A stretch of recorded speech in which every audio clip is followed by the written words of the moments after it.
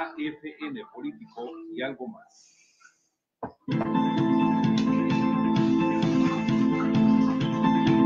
Es momento del análisis del acontecer nacional y regional, la vida política, las noticias y el análisis de AFN político y algo más.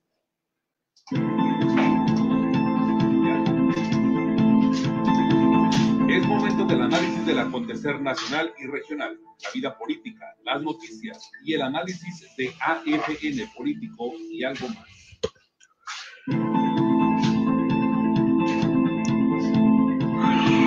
Es momento del análisis del acontecer nacional y regional, la vida política, las noticias y el análisis de AFN político y algo más.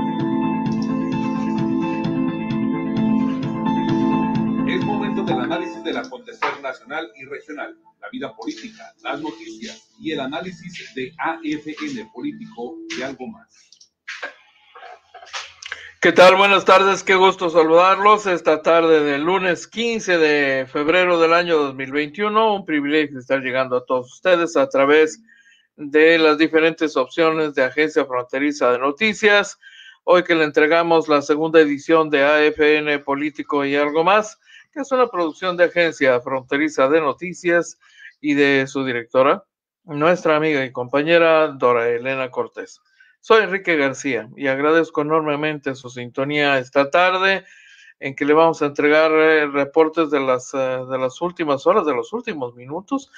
Yo debo decirle que eh, hubo una balacera, un atentado hoy, muy temprano. Bueno, eh, de hecho, mm, hará cuando mucho una hora, más o menos, un atentado en las afueras de los juzgados federales.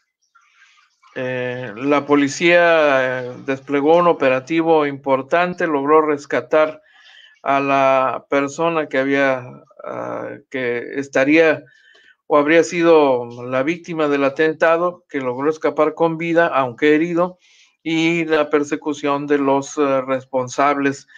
Eh, le voy a compartir un poco más de eso en unos minutos más. Eh, por supuesto, de las cosas del acumulado del fin de semana, algunos temas importantes que compartirle también relacionados con la nueva, con la nueva titular del Poder Ejecutivo, Ejecutivo Municipal, eh, Carla Patricia Ruiz McFarland, desde luego eh, el tema de, la, de la, los preparativos, pues, para las campañas en los partidos políticos y el avance, el avance en el proceso para las definiciones de candidatos que están eh, ya en su etapa casi final, eh, hay ajustes todavía de última hora, puede haber sorpresas, también de eso vamos a platicar sin duda.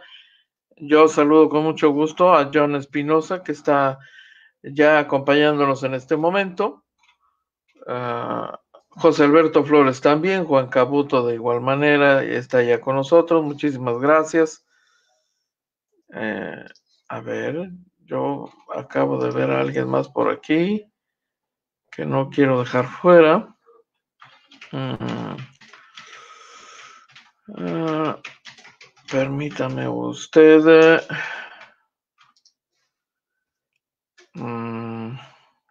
Caray. Muy bien. Vamos a proceder entonces de inmediato. Por supuesto. Antonio Carpio ahí está con nosotros. Rosa Watts también. Bienvenida, bienvenidos todos. Muchísimas gracias. Son ustedes muy amables. Hmm. Bueno, Tecate, la violencia en Tecate, nos preguntan aquí, ¿no?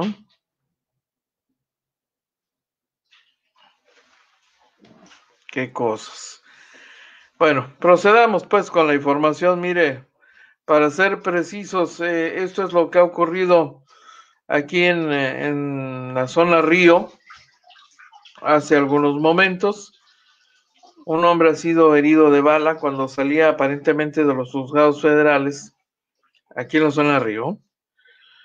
Eh, el ataque habría iniciado, según este reporte preliminar que ya le estamos ofreciendo, en eh, el exterior de los juzgados federales en zona Río, ahí frente a, Telcel, frente a la Casa del Mole.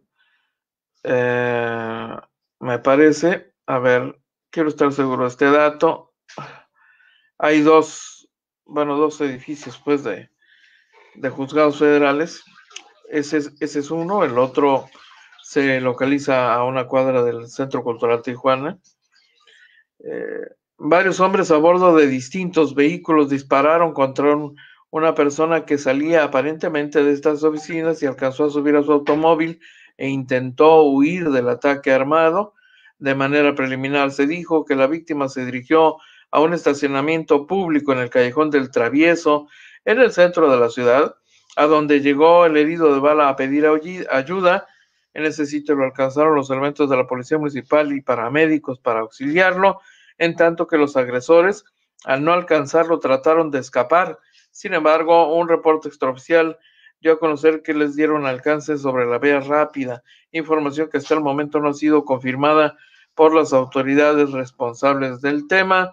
El operativo, por supuesto, continúa, sin duda, y eh, en el transcurso de la tarde esperaríamos, de hecho, en, unos momentos más esperaríamos eh, tenerles más información sobre este asunto. Nuestros compañeros de Agencia Fronteriza Noticias ya se encuentran trabajando sobre el tema y entonces, bueno, pues eh, se lo vamos a se lo vamos a ampliar la información, desde luego.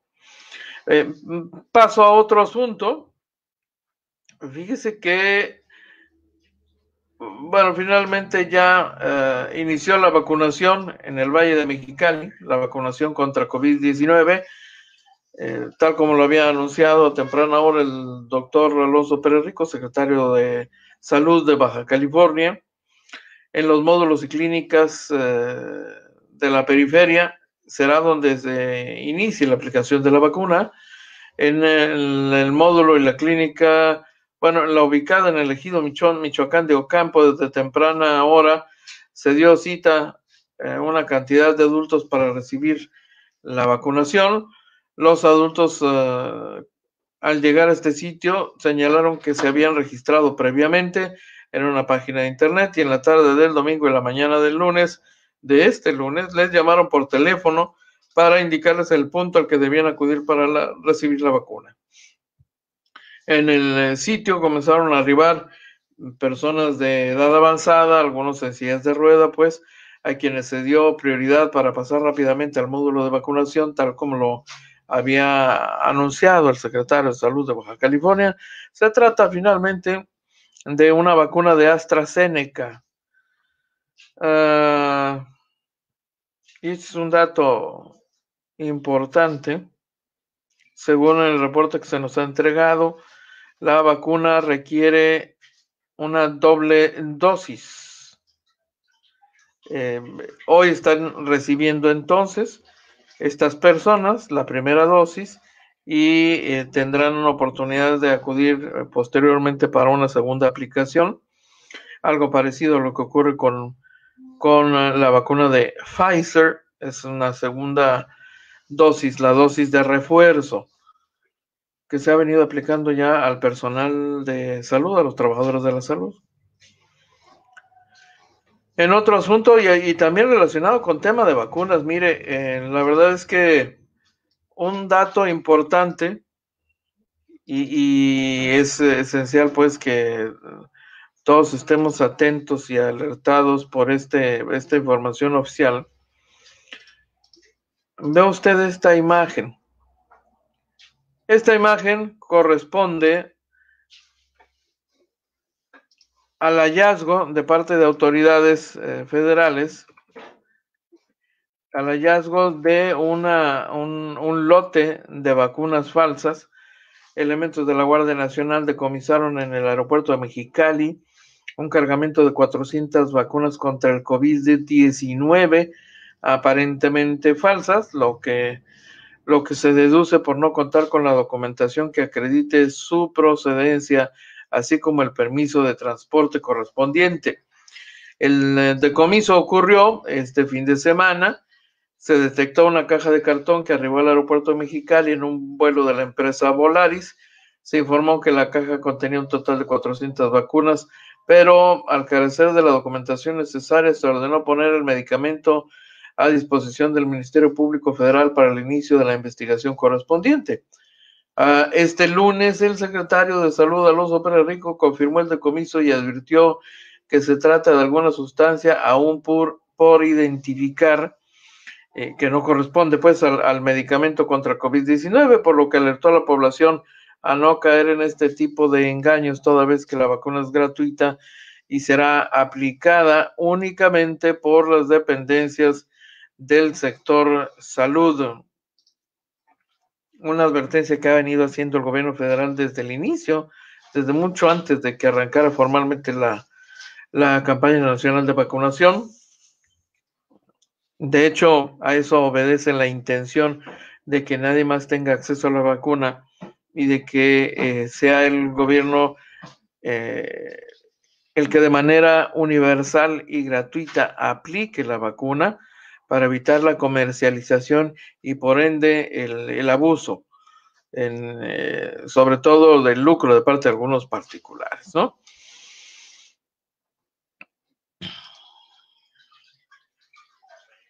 Enrique Osuna, bienvenido, gracias, Tocayo. Un placer saludarlo. Mm, bien. ¿Quién más anda por aquí? Don Juan Cabuto también, bienvenido. José Alberto Flores también nos, nos sintoniza, lo agradecemos enormemente, bienvenidos también. Eso es por una parte y en el eh, mismo ámbito local le quiero compartir que hoy en una de las uh, primeras actividades de del gobierno municipal, ya bajo la, dirección, la directriz de la alcaldesa Carla Patricia Ruiz McFarland, pues un total de 1.850 parejas contrajeron nupcias este lunes en forma colectiva, sin embargo, solamente 23 de ellas estuvieron de forma presencial en Palacio Municipal, el resto tuvo que enlazarse de manera virtual, pues debido a la contingencia sanitaria. La alcaldesa Ruiz eh, McFarland casó a las parejas tijuanenses, entre ellas 17 parejas de la comunidad LGBT, en una ceremonia eh, en la que dijo, por cierto, que le puede que los eventos sean a distancia. Es muy emotivo, me tocó el año pasado, lo organizó Magali en el auditorio, Ahorita sí me puede que lo tenemos que hacer con poca gente, pero lo que sí es importante es que este, tenemos que ir avanzando. Poquitas parejas en las delegaciones, pero que regrese esta vida después del año pasado tan complicada.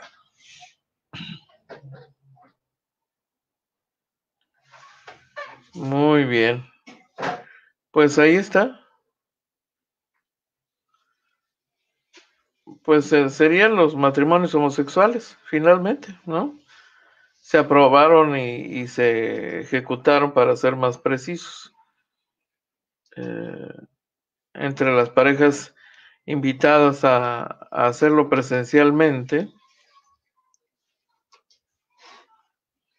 A ver, permítame compartirle una imagen. Matrimonios entre personas del mismo sexo fueron incluidas en, esta jornada. Ahí tiene usted, ¿no? Dos jóvenes mujeres que decidieron eh, casarse por la vía civil, que es eh, algo que la ley prevé en, de un tiempo reciente a la fecha, ¿no?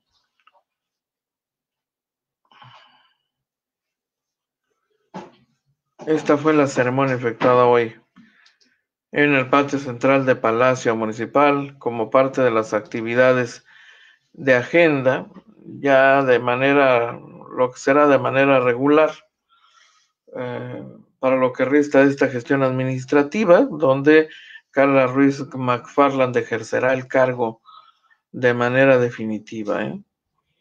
Mm.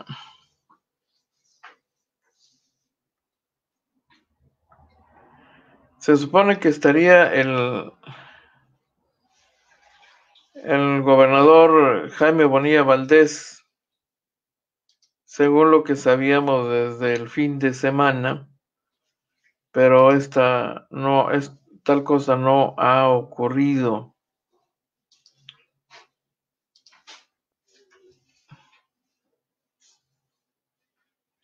Bueno, parece que A ver, permítame verificarlo, pero parece que el gobernador habría enviado como su representante personal a la síndico. Quiero tener... A ver.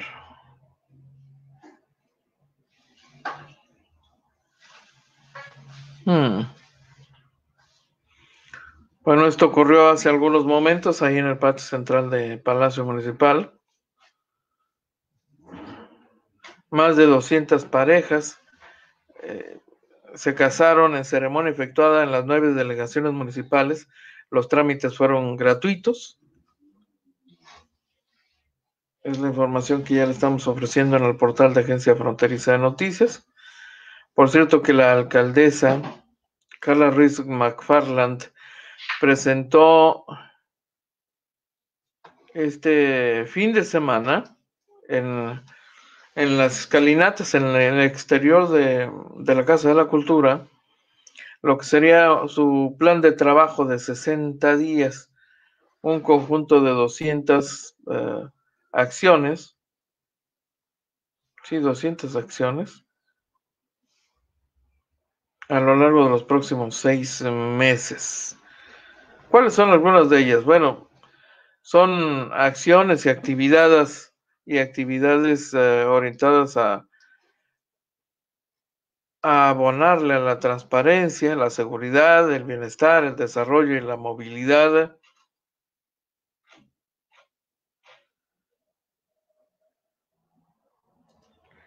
Dijo Carla Patricia Ruiz McFarland, que pretende impulsar la rendición de cuentas, además de la coordinación entre organismos ejecutores de obra pública para eliminar los probables actos de corrupción que pudieran existir, del cual se pedirá apoyo al área de sindicatura procuradora. Como parte de sus prioridades, trabajará para brindar a los bomberos una mejor atención a sus necesidades y ya que forman uno de los grupos de protección civil más importantes del Estado, pues recibirán un apoyo en lo que resta de la gestión. Eh, en materia de bienestar y el impulso a los deportistas con incentivos económicos, además de promover la difusión multiplataforma de las artes y la concientización de la sociedad sobre la migración. Finalmente aseguró que el gobierno que encabeza será de apertura y democracia, por lo que en aras de conciliar las diferencias ideológicas y partidistas, convocará a través del Instituto Estatal Electoral a una reunión con las fuerzas políticas del municipio para mantener unidas a, las, a una de las ciudades fronterizas más transitadas del mundo. Es lo que dijo este fin de semana Carla Patricia Ruiz McFarland, que eh, encabezó el evento ahí en las afueras de la Casa de la Cultura, un quizá el, eh, edificio de valor arquitectónico, histórico, eh, más importante que tiene la ciudad, más completo, más antiguo. Ahí lo tiene usted, ¿no? Justo en domingo, el 14 de febrero, la alcaldesa Carla Patricia Ruiz McFarland ¿Qué estilo? ¿Qué forma de vestir tiene tan curioso la alcaldesa? Algo conservador. Ya le hemos visto este tipo de, de vestimentas.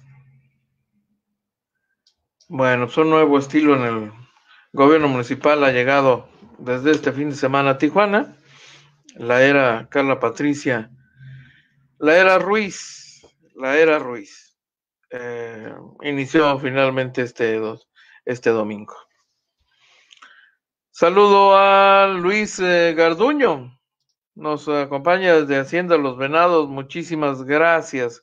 Jorge Tapia Pérez, eh, ¿qué tal?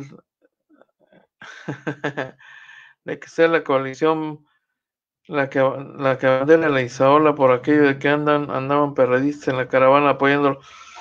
Este es un tema interesante. Ahorita le entramos, mi estimado Jorge, al, asunto, por supuesto que sí. Rosa Watts, ya la bienvenida. Antonio Carpio, Enrique Osuna. Ah, Jesús López. También. Eh, yo que me quejo de los buenos aires y usted se fue más lejos. Francisco Felipe Montero Sánchez, bienvenido, buenas tardes, mi estimado Francisco. Toño Carpio, rendición, la de González Cruz, él sí se rindió y se fue. Sergio Mayer, diciembre, nos acompaña también esta tarde, bienvenido. Bueno, sí, efectivamente, eh, se fue. Ya se retiró de la administración. Eh, tras una sorpresiva decisión el alcalde, el titular del 23 eh, Ayuntamiento de Tijuana.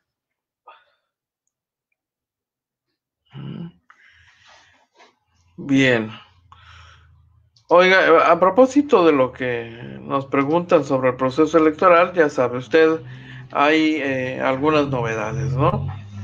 Eh, la coalición que lleva a Jorge Ramos Hernández aparentemente estará dando ahí un, cambio que no está todavía claro. Lo único claro en este momento, pues es que eh, Jorge Ramos de, habría quedado fuera de la lista que originalmente le habíamos compartido, eh, habría declinado ah, la candidatura a diputado federal por el quinto distrito, el eh, distrito que Acción Nacional decidió conservar en el eh, convenio de coalición con el, con el PRI y el PRD. Eh, esto, por supuesto, ha desatado conjeturas en el sentido de que eventualmente Jorge Ramos Hernández pudiera ser considerado candidato a la presidencia municipal de Tijuana. Es como una posibilidad. Eh, es, es, finalmente una posibilidad que habíamos aquí comentado eh, con el titular, el, dirigente estatal del Partido de la Revolución Democrática, que en el marco del convenio de coalición con el PAN y el PRI, tendría la libertad de postular candidato a la alcaldía en esta ciudad.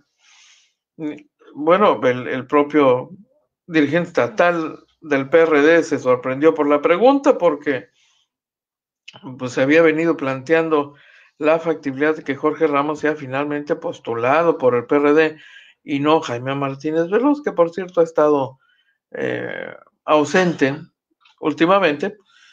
Bueno, eh, es algo que no está definido, aparentemente, pues, eh, y digo que aparentemente, porque no hay una definición clara en este terreno. Lupita Jones, la mexicalense que fue señorita eh, Universo, que fue señorita México, primero señorita Baja California, después señorita México y posteriormente señorita Universo, Miss Universo, eh, se convierte en, candidata a la gubernatura de Baja California por el, por el Partido Acción Nacional, porque dentro del convenio de coalición, bueno, es Acción Nacional el que pondrá candidatura para el, para el gobierno del Estado y la dirigencia nacional ya le dijo a, este partido, Baja California, que tendría que ser mujer y entonces eh, finalmente después de que le fallaron algunos cálculos y algunas propuestas, eh, el PRI buscó a Lupita Jones y ha seguido en pláticas con ella. Todavía no está definido, aunque parece muy firme la pretensión de aceptar la candidatura al gobierno de Baja California. Entonces, de ser así, eh, el PAN coalición, iría con eh, Lupita Jones a la gobernatura, eventualmente Jorge Ramos a la presidencia municipal. Eh, esto es algo que no está del todo definido, yo le reitero, oficialmente todavía no se han tomado las decisiones, pero sorprendió la salida de Jorge Ramos Hernández, de esa lista inicial, se habían registrado para el encargo y mire usted, algo pasó ahí que Jorge cambió de opinión, Jorge Ramos. Eh, tendremos que esperar unos días más para ver qué, determinación final toma el propio Jorge Ramos y, y, por supuesto con el apoyo del Partido Acción Nacional y de los partidos integrantes de la coalición, ¿no? Mientras tanto, yo quiero decirle que, eh, por otra parte, el Partido Encuentro Solidario se mantiene en, la pretensión de llevar a, Julián Leizaola Pérez eh, como candidato a la presidencia municipal. Todavía mm, hay tiempo, hay, eh, hay plazo para registrar las candidaturas por parte de los partidos y de cualquier manera, le recuerdo que aún ya estando registrados puede haber cambios de candidatos y puede haberlos. Eh, estarían eh, considerando en ese partido la eventual eh, postulación de Héctor Cruz Aparicio, que es diputado federal por ese partido. De hecho, Cruz Aparicio llegó a la Diputación Federal por una alianza del PES con Morena pero bueno, el PES se quedó sin, sin registro.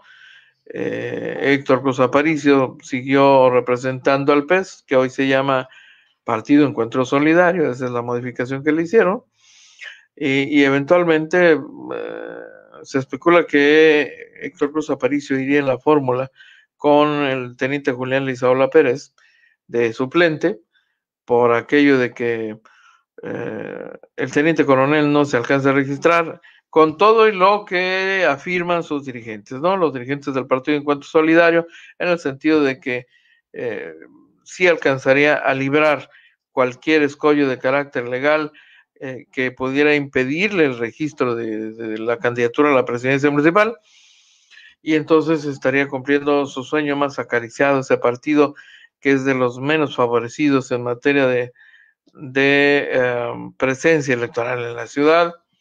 Eh, esto le permitiría dar un, salto considerable, toda vez que eh, el teniente coronel es alguien que tiene muchos simpatizantes y, esto le acarrearía bastantes votos, quizá no para ganar, eh, pero por lo menos para colocar a, regidores en pues por lo menos en el caso de Tijuana, ¿no?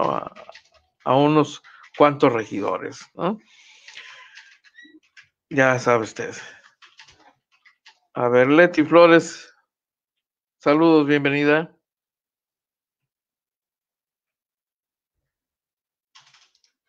Bueno. Oiga, voy rapidísimo a una pausa y regreso.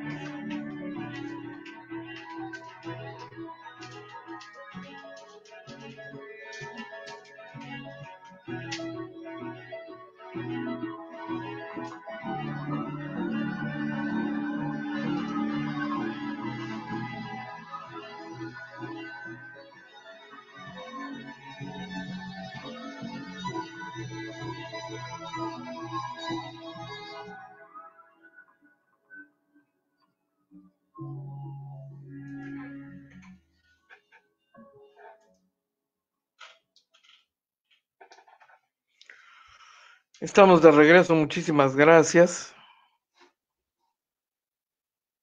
Melba Cortés Juárez también nos acompaña esta mañana, en esta tarde en la transmisión. Bienvenida, muchísimas gracias. Muy amable. Mm, por cierto que la columna de nuestra compañera Dorelena Cortés le ofrece hoy eh, algunos pormenores eh, en el ámbito de la política, algunas de las posibilidades que ya se barajan. Eh, ya habíamos abordado aquí el caso de Katia Bostillos y Turralde, que fue mm, ejecutiva de Televisa y por algún tiempo la titular y estaría finalmente aceptando, registrándose, ¿sí? Así como usted le escucha, registrándose para una candidatura a la presidencia municipal de Tijuana. Eh, le recuerdo que ella mm, iría por el partido de Baja California haciendo equipo con Carlos Atilano Peña. Eh, Carlos Atilano sería el candidato a la gubernatura por el partido de Baja California. Y si otra cosa no sucede, se estará registrando esta tarde en punto de las 5 de la tarde ante los militantes de ese partido, pues en calidad de eh, precandidatos, ¿no? Eh, Katia Bustillos estaría enfrentándose a quien por parte de Morena resulte ser la abanderada, porque hasta el momento no hay eh, elementos para considerar que Morena va a cambiar de género. Formalmente todavía no lo anuncia, no lo define, pero es un secreto a voces que ese partido ya decidió desde hace por lo menos uh, un mes que eh, postulará a una mujer para la presidencia municipal de Tijuana. Eh, no más que, bueno, todavía está haciendo sus, cálculos Morena antes de definir quién, eh, quién buscaría ser sucesora de, pues de Carla Patricia Ruiz McFarland. Ella misma está anotada como aspirante a la reelección. Eh, ella es la titular en este momento, pero bueno, pues, eh, le interesa quedarse tres años más en la presidencia municipal y no es la única persona que ha registrado su pretensión. Eh, Blanca Dávalos también, que fue titular del DIF estatal, también Vicenta Espinosa, la diputada local Montserrat Caballero, de igual manera, y bueno, hasta el dirigente estatal de, de Morena, Jaime Ismael Burgueño. Ismael Burgueño registró su precandidatura al interior de Morena. Quiere ser el sucesor de Carla Patricia Ruiz McFarland. Bueno. Así que esté usted al pendiente. Eh, llama la atención que el Partido Baja California haya elegido postular abogados, profesionistas. Eh, bueno, en esa lista, si otra cosa no sucede, eh, estaría definiéndose la participación de Carlos Mejía. Carlos Mejía fue presidente del Colegio de Abogados Constitucionalistas de esta ciudad y fue además secretario de gobierno con el alcalde Jorge Estiazarán Orsi. Eh, así que mire usted, eh, está todavía indeciso Carlos Mejía, este abogado que enfrentó mm, legalmente a la síndico procuradora de, de la administración panista de Juan Manuel Gastel Un Buen Rostro. Entonces, eh, ganó por la vía legal eh, las acciones en su contra de parte de esa administración. Y tuvimos la oportunidad de saludarlo, por cierto, y nos ha confirmado que está en el proceso de definir si, si sería uno de los hombres que formarían parte de la planilla, hombres y mujeres que formarían parte de la planilla para diputados locales estaba muy decidido.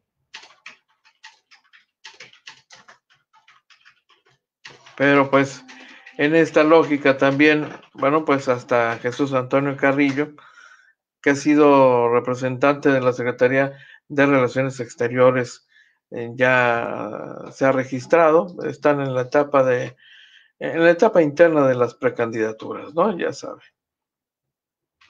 A ver, parece que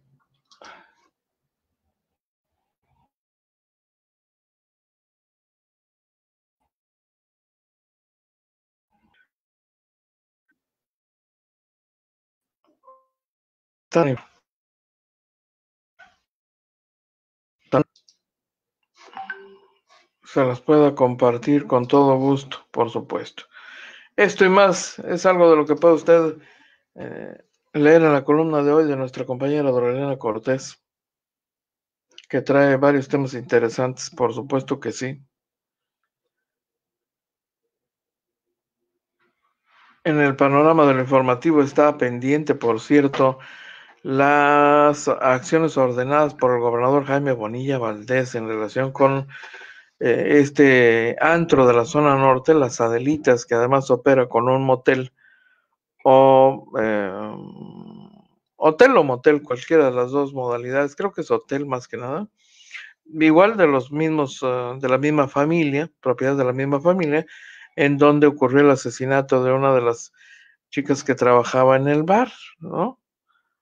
Una, una sexoservidora muy joven, por cierto, muerta a manos de un norteamericano que ya quedó claro, no, no era eh, marino norteamericano, no era marino como se había conocido inicialmente en la versión preliminar, pero lo que brincó a los ojos del gobernador fue el hecho de que el bar estuviera abierto y operando cuando se supone que por razones sanitarias no podría hacerlo y entonces fueron a la yugular del ayuntamiento, eh, tanto el gobernador y bueno, particularmente el gobernador de Baja California, que ordenó a la Fiscalía General del Estado que procediera con lo necesario, incluso para eh, pues que se le retire la, licencia a ese bar, a ese antro.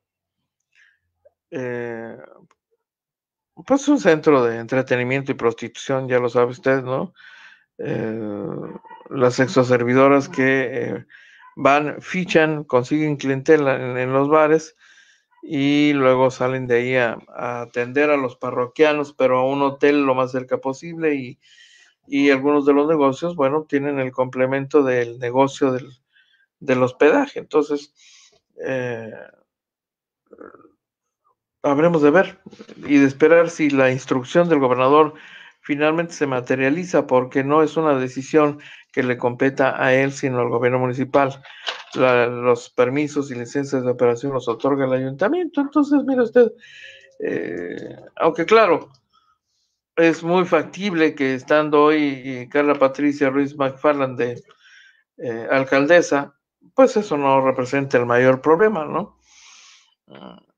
Efectivamente, la empresa no debía estar operando y todavía en el penúltimo día de sus, de sus funciones como alcalde, Arturo González Cruz en una de las reacciones iniciales, efectivamente confirmó que ese lugar debía estar cerrado y que se iba a proceder de inmediato y aparentemente pues está echada la suerte de los dueños de ese negocio.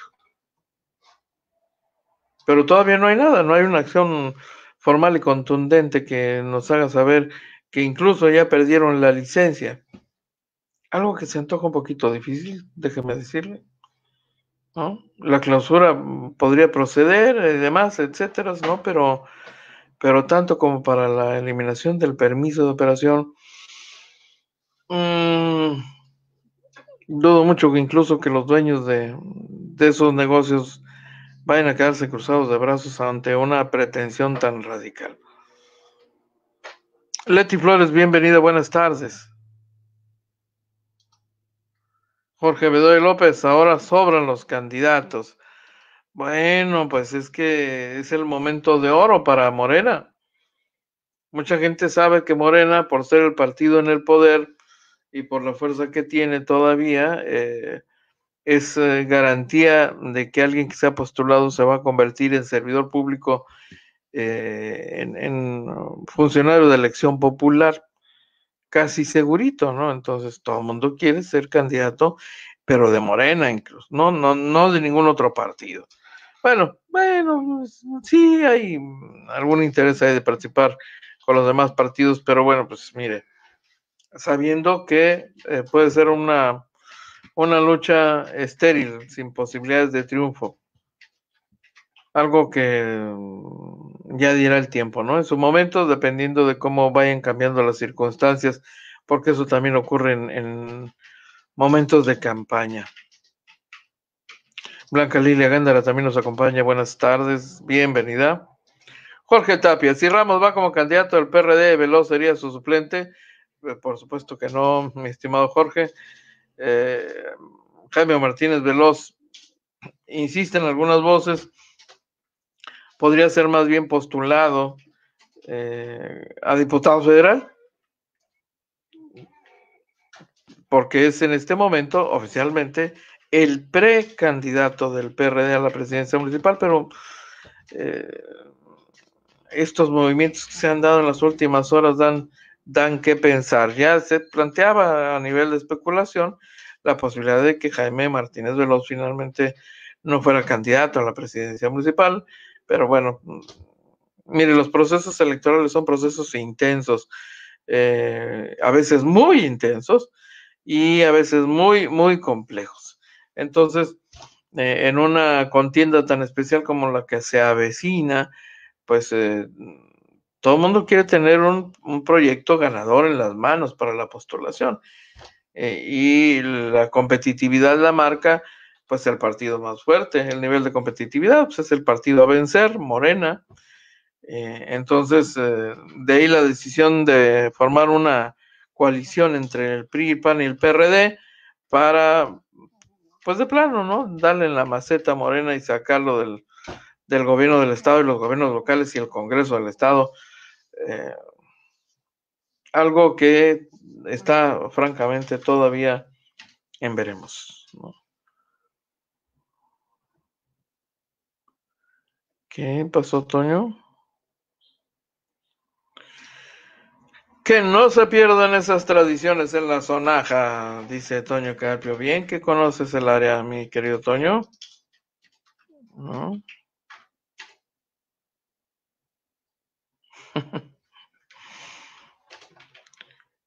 Pues el asunto es que eh, esa es una realidad que hemos vivido aquí en Tijuana desde hace muchos años, muchas décadas.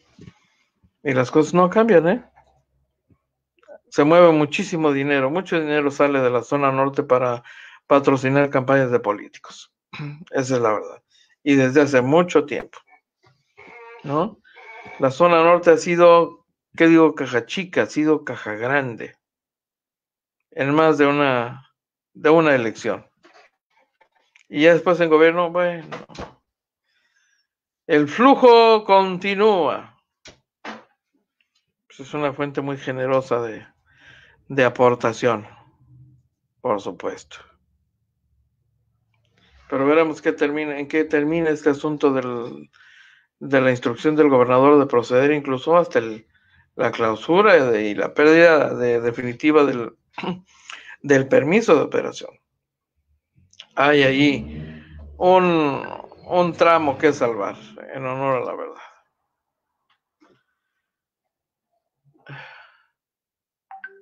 Andan sufriendo los amigos capitalinos en las últimas horas.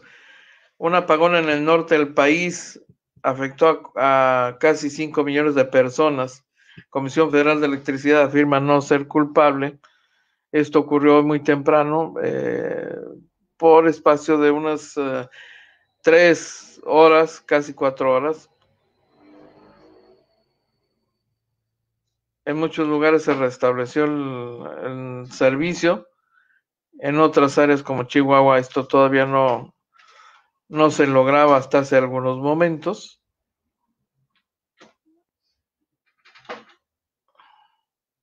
Así que bueno, Comisión Federal de Electricidad está sufriendo por, bueno, más que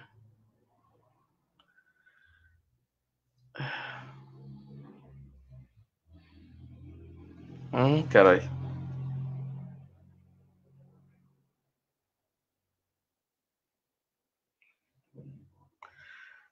Pues dice el titular de Comisión Federal de Electricidad que esto obedece a un problema de, de abasto de gas de parte de Estados Unidos, que es donde se abastece.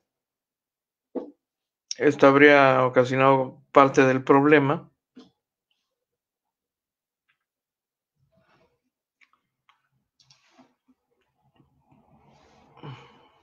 Estoy tratando de confirmarle.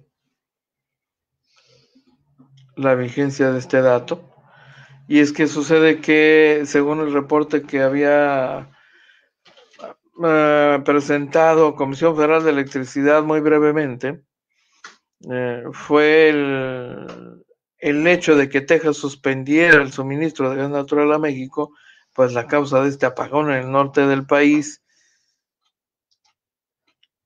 Lo confirma Comisión Federal de Electricidad. Los cortes de luz están asociados a caídas en la oferta, tanto de la que se genera como con gas natural, así como fuentes de energía renovable, pero finalmente sería eh, responsabilidad de Texas por la falta de suministro de gas natural a la empresa para la generación de energía eléctrica. Está también el dato, no menos importante, de la congelación de los ductos en, zonas de muy, pero muy bajas eh, temperaturas Chihuahua es uno de esos casos, que también contribuyó a, a afectar la prestación del servicio. La afectación a muchos negocios, sí, claro. Desde luego, la banca particularmente ha resentido la, caída de sus sistemas, la caída de sus servicios eh, por falta de energía eléctrica. El cierre de las de muchas plantas y la paralización de procesos uh, productivos, sobre todo en el sector industrial, eh, que recibió un, golpe severo con esta suspensión en el abasto de energía eléctrica, le quiero decir, ¿no?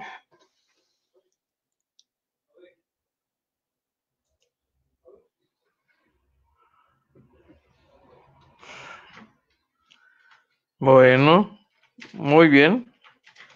Tomamos nota del dato que nos están compartiendo. Vamos a darle seguimiento. Muchísimas gracias. José Enrique Ibarra Celaya también nos acompaña hoy. David Labastida, Melba Cortés, José Alberto Flores, Juan Cabuto. Bienvenidos, bienvenidos todos. Cerca de 600 mil son los vacunados contra el COVID en San Diego. No, pues creo que hay una comparación muy desafortunada y poco favorable para Baja California, ¿no? Fíjese, eh, la Agencia de Salud y Servicios Humanitarios del Condado de San Diego dijo que se han aplicado más de 570 mil vacunas a sandieguinos pertenecientes al sector adulto, eh, al sector salud, adultos mayores y otros. La agencia precisó que sí que se recibieron 703 mil dosis de vacunas contra el COVID-19, de las cuales se aplicaron 570 mil en la región. Y se prevé eh, aplicar las vacunas restantes muy en breve. Mm, dice la agencia que unas 140 mil personas ya recibieron la segunda dosis del eh, producto.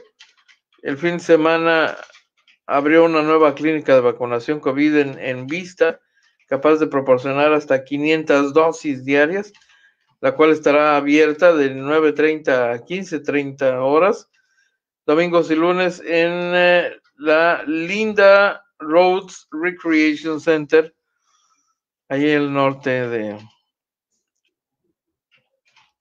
Avenida Santa Fe. Santa Fe North todas las superestaciones de vacunación del condado y los puntos de, eh, de aplicación de despacho están pues eh, vacunando a personas en la fase 1A y a personas de 65 años o más en la fase 1B. La agencia reportó 817 nuevos casos de contagio, suman ya 200, 250 mil un cuarto de millón, pues, y 24 nuevas muertes por COVID, llegando a un total de 2.979 por causa de inicio de pandemia. Pues ahí está el dato, ¿no? Ya sabe que estamos pegaditos a, al sur de San Diego y es importante lo que ocurra allá Es importante para ellos e importante para nosotros lo que ocurre en ambos lados de la frontera. Inevitable.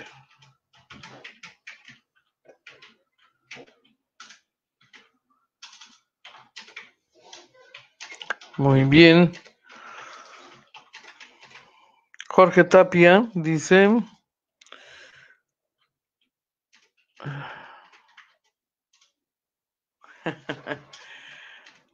Lo bueno de tener cajitas Smart, dice, en que ahora veo gigante. ¿A poco sí, de plano? Don Jorge, gracias, muy amable. Van a terminar abriéndonos la frontera a los visados para que nos vacunemos allá antes de que nos manden vacunas de la Ciudad de México. Sí, ya muchos uh, baja californianos, tijuanes particularmente, han cruzado a los Estados Unidos para aplicarse la vacuna, por supuesto. ¿eh? Ok.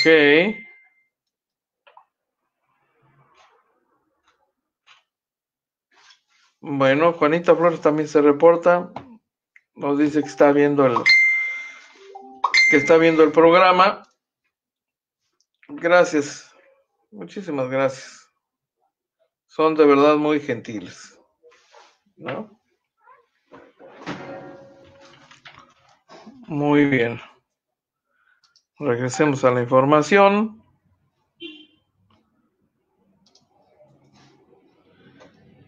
A ver.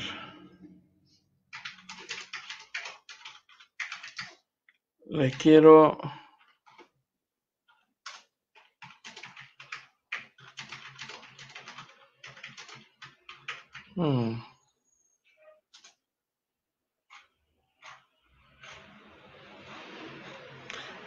un reporte medio raro. Es de nuestros compañeros en, en Ensenada sobre la presencia de un avión de la Fuerza Aérea de los Estados Unidos. Eh, haciendo prácticas, ¿no? Los reportes iniciales hablaban de que estaría en, en eh, eventualmente tal vez en, en, aguas mexicanas, pero parece poco probable, según un segundo reporte. Es un avión eh, trimotor fabricado en los años 70.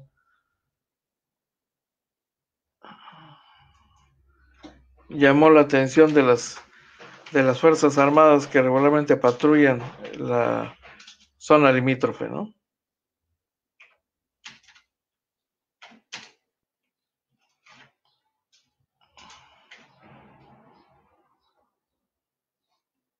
Estaría en aguas internacionales, aparentemente, pero usted comprenderá, es pues, un reporte inicial que habla de la presencia de una aeronave extranjera en aguas mexicanas, eh, pues evidentemente moviliza a, a nuestro gobierno, ¿no? Bueno.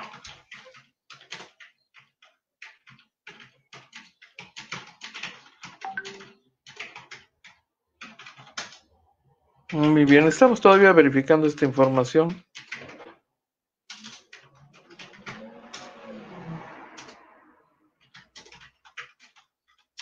Muy bien.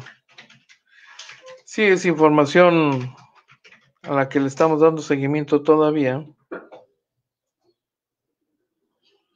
Sería poco, ah, poco probable que se hubiera internado en aguas mexicanas. Pero pues luego puede ocurrir eso, ¿eh? Muy bien.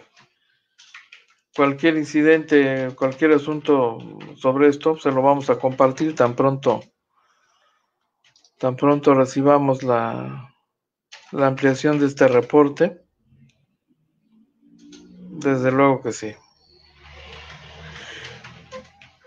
Oiga, le comparto. Esta es una una convocatoria del Partido de la Revolución Democrática justamente para lo de los registros, ¿no? De... A ver, aquí le tiene usted, mire.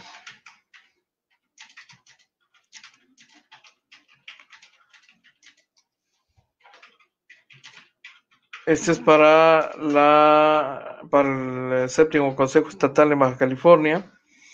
La convocatoria dice para elegir las candidaturas a la gubernatura, diputaciones eh, e integrantes de los cinco ayuntamientos.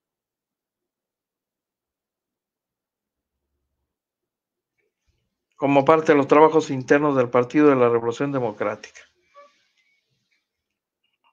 Se llevará a cabo el día 20 de febrero, dentro de cinco días. El 20 de febrero a las... Eh,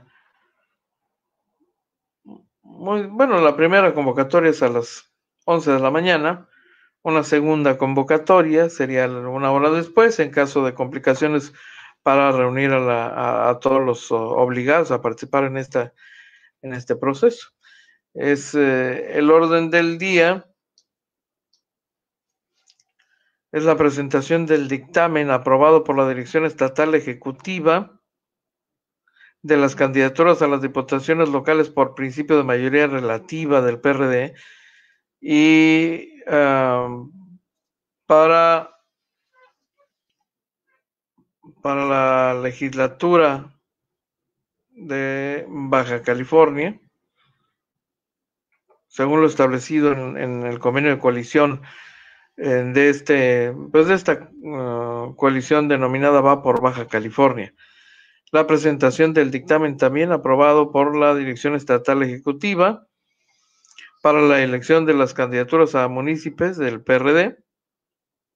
Así es que cinco días más, cinco días más para que esto se defina. Y todavía podría haber cambios, quiero decirlo. Eduardo Vadillo Martínez, vicepresidente de la mesa directiva del Consejo Estatal de Baja California, Guadalupe del Toro Cárdenas, secretario vocal.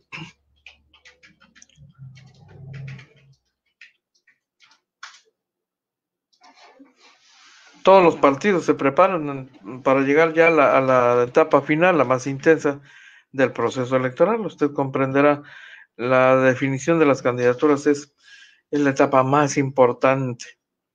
Son los fichas con que va a jugar, ¿no? En este proceso electoral.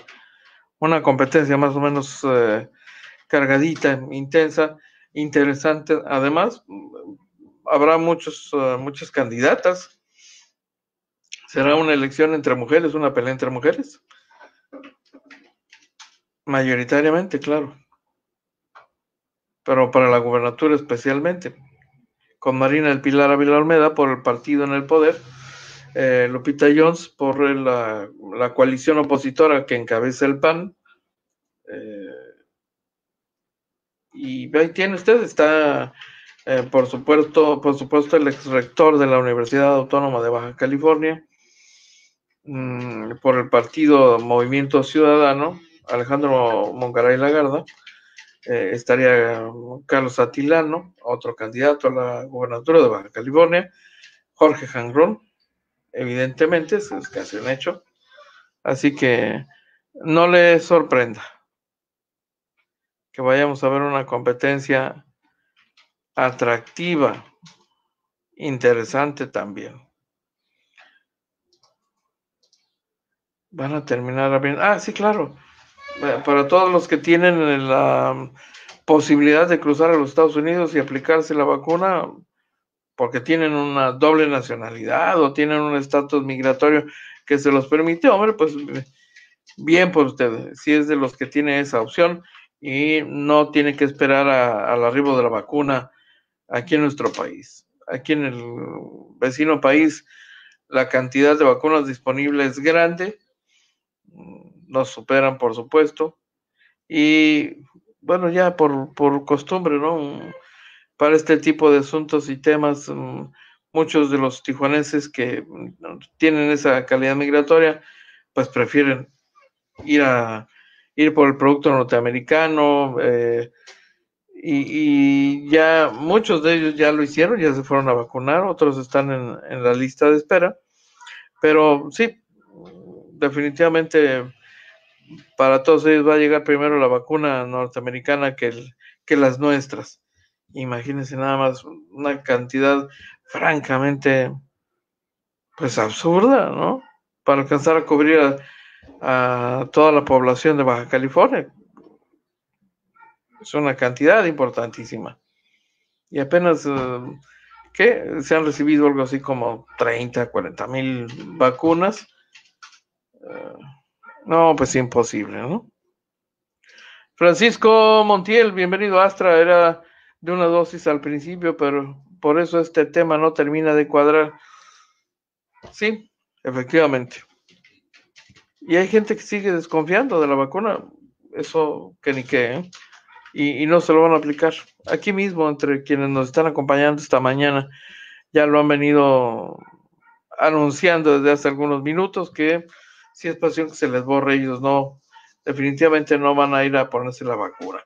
Y, me refiero a personas que ya están en, la edad y cubren perfectamente el perfil y el requisito para ser de los primeros beneficiarios de la aplicación de la vacuna por razón de edad y complicaciones de salud.